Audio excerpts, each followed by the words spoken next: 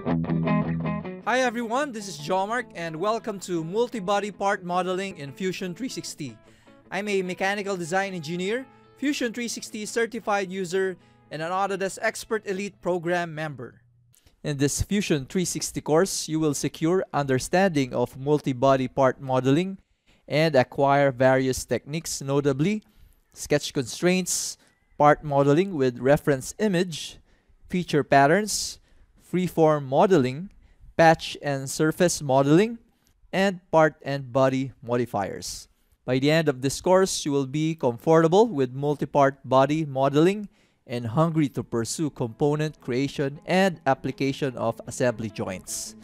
Join me as we all embark in this fun and learning experience with multi-body part modeling in Fusion 360.